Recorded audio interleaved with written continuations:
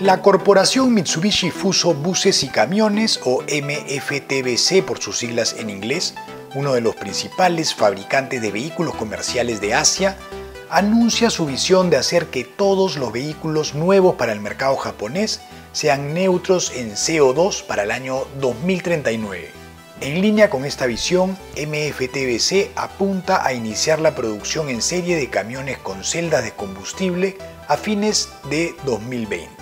Como parte integral de Daimler AG, uno de los fabricantes de automóviles más grandes del mundo, MFTBC está comprometido con el Acuerdo Climático de París. Para cumplir con estos compromisos y las crecientes necesidades de transporte sin emisiones, es esencial adoptar tecnología avanzada.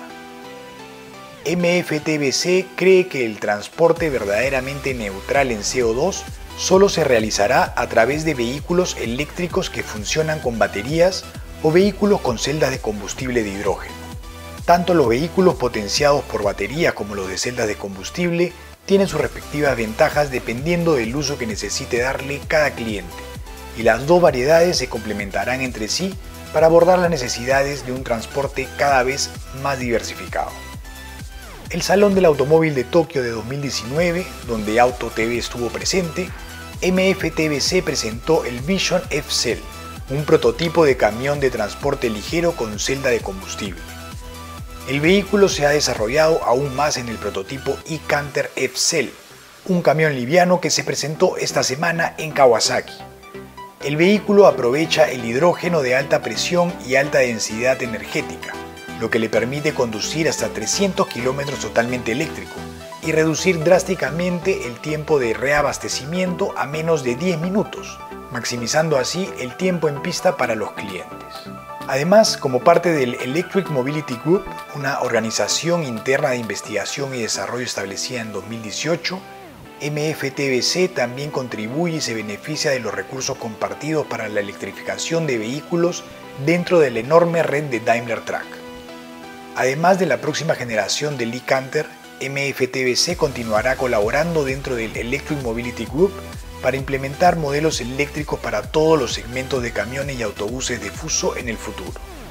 MFTBC lanzó el primer camión de transporte ligero totalmente eléctrico de producción en serie en 2017, impulsando a la industria del transporte un salto adelante en la reducción de las emisiones mundiales de CO2. Desde la introducción del e-Canter, MFTBC ha sido pionero en la electrificación de vehículos comerciales, el e-Canter, que tiene un peso bruto de 7,5 toneladas, es ideal para rutas de corta distancia y entregas urbanas, ya que pretende recorrer aproximadamente 100 kilómetros con una sola carga. Más de 150 e-Canters han estado operando en Japón, Europa y los Estados Unidos, mientras que el vehículo ha alcanzado un total acumulado de 1.6 millones de kilómetros en manos de los clientes a nivel mundial. No te olvides de dejar tu comentario aquí abajo sobre qué te pareció esta nueva visión del futuro de Fuso con estos dos nuevos vehículos, el e-Canter y el e-Canter. Y si quieres ver nuestro reportaje en el Motor Show de Tokio sobre este prototipo del Excel puedes seguir el enlace de la izquierda. No te olvides de suscribirte a nuestro canal para siempre recibir las últimas noticias del mundo automotor dándole clic al botón de la derecha.